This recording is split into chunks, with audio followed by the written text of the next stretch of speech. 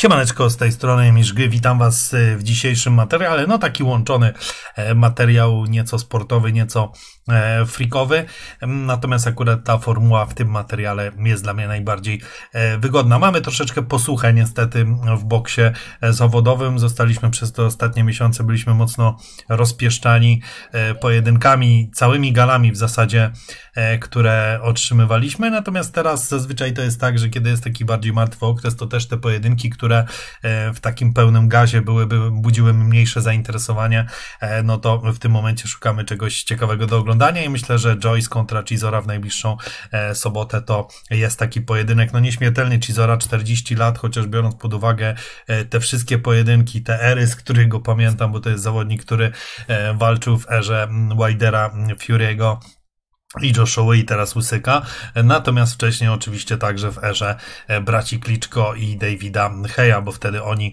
rozdawali karty, David, tutaj Derek Chisora jest po prostu e, nieśmiertelny. Czy wciąż stać go na niespodziankę? No wydaje mi się, że raczej nie stać go na niespodziankę e, z Joyce'em, którego kariera też mocno wyhamowała po tych porażkach z Angiem i raczej nie sądzę, aby był w stanie Joyce już w wieku 38 lat znowu wdrapać się na szczyt. Oczywiście wciąż może być zawodnikiem bardzo e, niewygodnym i akurat tutaj stylowo myślę, że będzie Ciso, że bardzo mocno e, nie pasował. Chociaż pamiętajmy, że to jest zawodnik, który w taki sposób został złamany.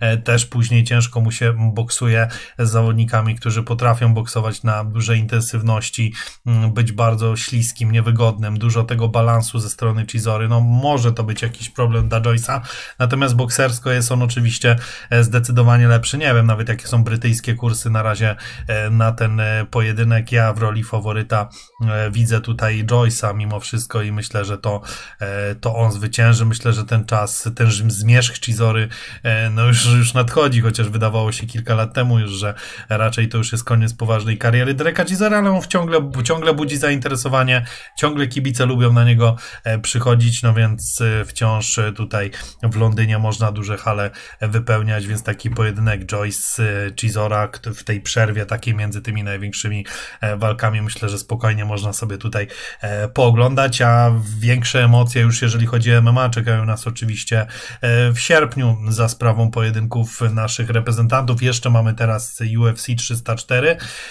w najbliższy weekend, natomiast dla nas te największe emocje to już jest sierpień.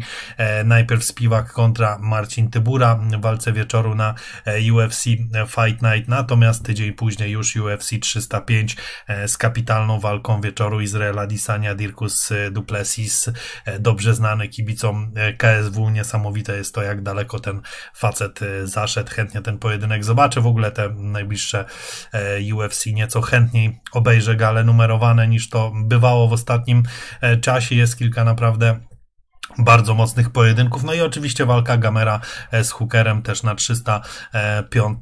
Kolejna szansa na, na, to, żeby zbliżyć się do tego e, szczytu i w końcu spełnić to swoje marzenie. No nie chce mi się wierzyć, żeby prędzej czy później e, Gamer tej szansy nie dostał, żeby nie stoczył tej walki o pas, no bo cały czas jednak kręci się tam bardzo wysoko, jest konsekwentny do bólu od samego początku, to było jego marzenie, no więc nie sądzę, żeby z pustymi rękoma po prostu odszedł czy zakończył karierę w UFC. Myślę, że prędzej czy później ta szansa e, będzie i miejmy nadzieję, że ją e, wykorzysta. Za to trzymamy kciuki to już e, w sierpniu. Natomiast również dzisiaj, tak, dzisiaj rozpoczyna swoją promocję Fame MMA, poniedziałek godzina 20, czyli za kilka godzin już Fame zaczyna coraz mocniej mm, prowadzić promocję. Też kontrowersyjna sprawa, no bo Prime ma za chwilę swoją galę, a tutaj Fame uściśla swoją promocję, także gdzieś mówiło się w kuluarach o tym, że gdzieś federacje mm, mniej współpracują, że pojawiły się jakieś ostrzejsze konflikty. Jak to będzie wyglądać dalej, zobaczymy. No można było przewidzieć, że raczej tak to będzie e, wyglądało. Takie zgody nie trwają zbyt długo, no bo jednak każdy chce e, dla siebie ten największy e, kawałek tortu. Czasem ci mniejsi mogą się troszeczkę rozochocić, a tym większym wiadomo ci mniejsi czasem są potrzebni, czasem potrzebują jakichś konkretnych zawodników, a później gdzieś może można spróbować już niszczyć konkurencję. Dzisiaj Tańcula kontra Kwieciński, o ile pamiętam to pierwsze starcie, to tam był konflikt i, i faktycznie to miało więcej sensu. Teraz ta walka już nie grzeje. Taką najciekawszą walką, którą na pewno mm, wszyscy tutaj chcieli zobaczyć, jest walka Alana z Ferrari.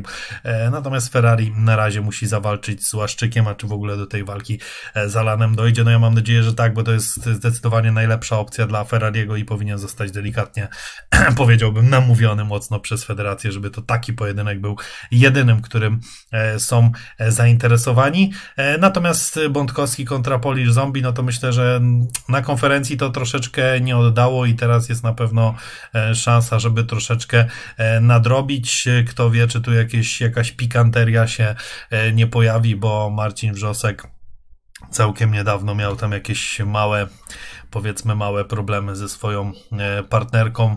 Pewne rzeczy, które nie powinny się pojawić w internecie, zaczęły się tam e, pojawiać. No i też ostatnio po konferencji prasowej też e, chyba, nie wiem czy była już partnerka, chyba była Marcina, mm, wstawiła komentarz Tim Bątkowski i tam jeszcze kilka innych słów. To szybko zostało z neta usunięte, natomiast jestem ciekaw, czy, czy też takie wątki tutaj obyczajowe powiedziałbym będą poruszane, czy, czy raczej tutaj panowie będą skupieni tylko tylko na siebie, czy Bątkowski wejdzie w tą grę, no bo Marcin jest dość agresywnie tutaj e, nastawiony, natomiast czy Bątkowski będzie chciał mm, tutaj babrać się w czymś takim, no to e, zobaczymy o godzinie 20. Ja sobie raczej kawałki tego programu e, obejrzę, natomiast no raczej ten, ten pojedynek Bątkowski, Polish Zombie tutaj na konferencji to nie oddało, ale tutaj powinno być ciekawiej, no bo Alan z Tańculą to już tam żadnego konfliktu nie mają, więc myślę, że też tutaj mm, nic ciekawego specjalnie nie będzie się działo. Natomiast ja już mówiłem, jeżeli chodzi o szansę tego pojedynku, to myślę, że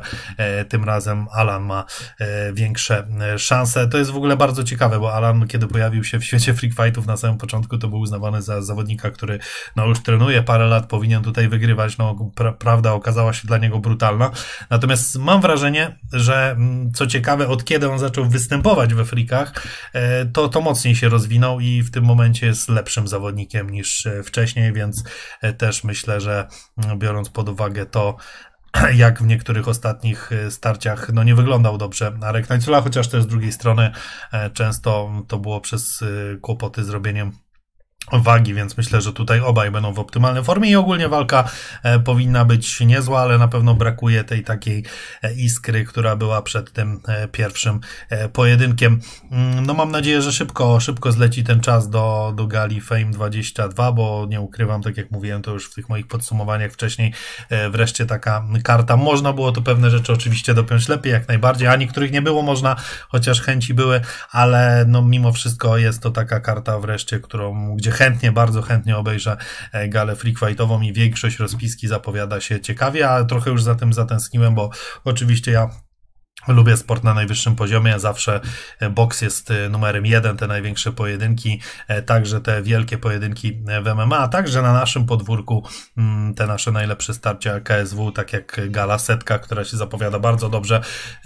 Ja dzisiaj też obiło mi się uszy, że będzie pewne zestawienie, pewien, ma być pewien powrót do, bardzo mocny powrót do Federacji e, KSW, a być może nawet dwa e, i, i ta setka faktycznie może wyglądać naprawdę grubo, ale też nie ukrywam, no lub wiecie, lubię ten e, świat freak fightów, te niektóre ciekawe gala w ostatnim czasie było biednie pod tym względem, jest tutaj ta, ta kolejna gala zapowiada się całkiem, całkiem nieźle. To tyle ode mnie, trzymajcie się, heja.